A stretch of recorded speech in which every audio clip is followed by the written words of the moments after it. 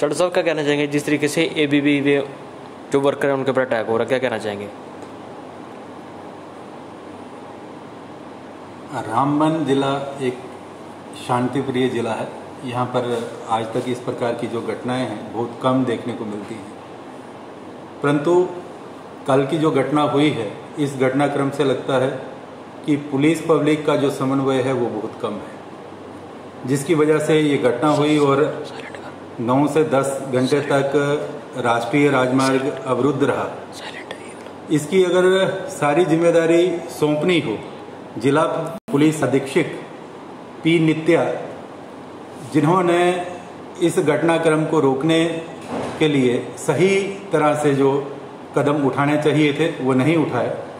ऐसे पुलिसकर्मी जिन्होंने वहाँ हमारी महिला कार्यकर्ताओं के साथ धक्का मुक्की की है वहाँ के जो एवीपी के कार्यकर्ता हैं, उनको बर्बरतापूर्व क्रूरतापूर्व जो पीटा है, उनके जो फ़ोटो वायरल हुए हैं, उससे लगता है कि इंसानियत नाम की चीज़ कहीं ऐसे पुलिस वालों में है नहीं कि उन्होंने एक नौजवान बच्चों को इस प्रकार से पीटा है, जैसे चोर को भी नहीं पीटा जाता।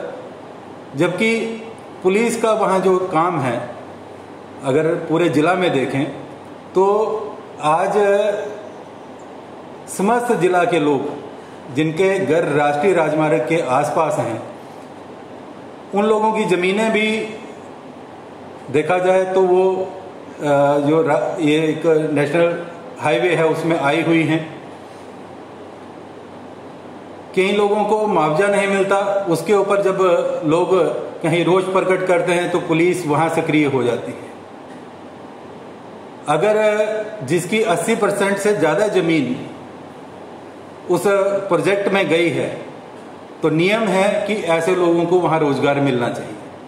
तो अगर रोज़गार के लिए कोई रोष प्रकट करता है, कहीं सड़क पे आता है तो पुलिस की इंटरफेरेंस वहाँ आ जाती है।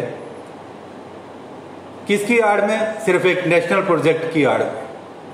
पुलिस जो है, वो उन कंपनियों की कठपुतली बनी हुई है सिर्फ़ वहाँ की पुलिस एकदम पैसा ऐंठने के लिए ही काम कर रही है। वहाँ के जो सामाजिक लोग हैं, सामाजिक संगठन हैं, वहाँ के राजनीतिक संगठन हैं, या फिर आम लोग हैं, उनके साथ पुलिस का कहीं भी समन्वय नहीं है। मेरा मानना है कि जिला रामबन की संपूर्ण पुलिस की अदला बदली होनी चाहिए, तभी जाकर यहाँ पर लोगों को पुलिस के ऊपर विश्वास बन पाएगा, क्योंकि एक सिपाही से लेकर एसपी तक लोग जो हैं, वो उंगली उठा रहे हैं कि पुलिस की जो भरभरता है, वो हमेशा आम आदमी के ऊपर है। कंपनियों के जो लोग हैं, उनको सिर पे बिठा के रखा है। जितने भी वहाँ नशे के सौदागर हैं, वो सब पुलिस के ज्येष्ठ श्रेष्ठ हैं।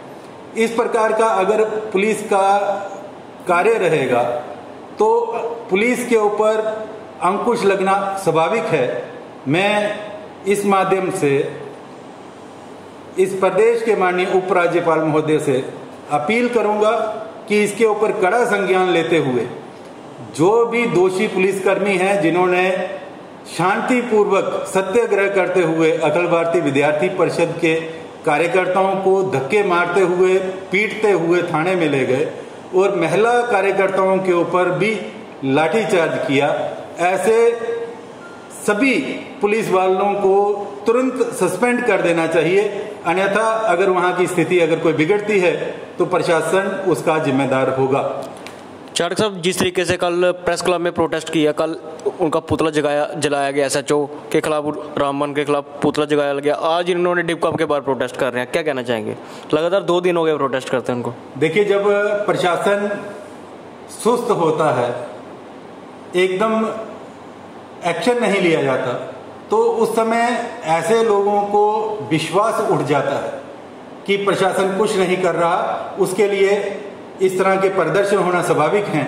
और अगर ये प्रदर्शन हो रहे हैं तो ये इन प्रशासकों की नलायकी दर्शा रहे हैं। इसलिए इसके ऊपर अतिशीघ्र संज्ञान लेने की आवश्यकता है, ताकि ये प्रदर्शन यहीं पे रुक जाए।